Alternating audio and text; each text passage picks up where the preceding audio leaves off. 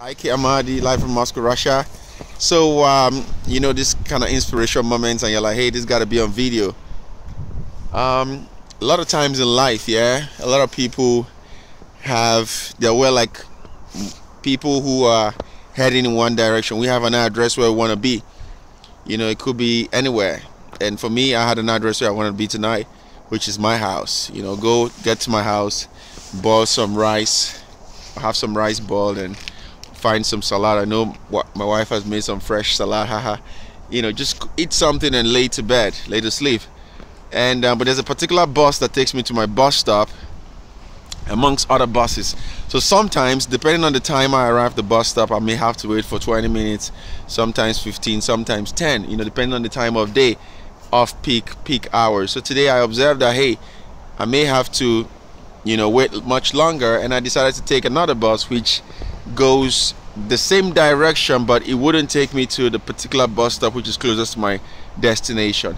I believe i'm making sense. So this one it drops me off at a place where i may have to walk for about seven minutes down to my bus stop and another five minutes to my house three four minutes to my house. So well i observed that um as i okay life is like that. Let me go straight to the point. Life is like that.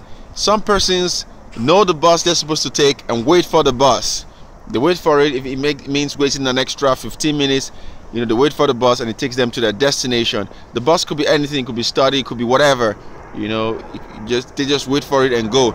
Other persons you know don't want to wait so long in the cold or you know and therefore decide to take another bus which takes them closer to their destination.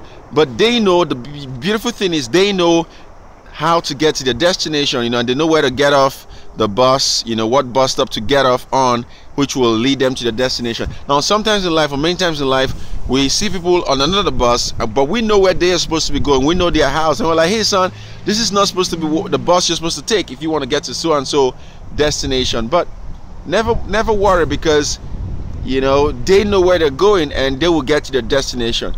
Now the main point of the matter is now the other guy who takes the straight point of course, he gets to his destination, mm, uh, you know, without having extra working time and all that. But the other guy who takes another bus, I, I believe, in my understanding, is richer in knowledge because he can therefore advise other people and have different options for the future. Yeah, Ike Amadi Masquerade.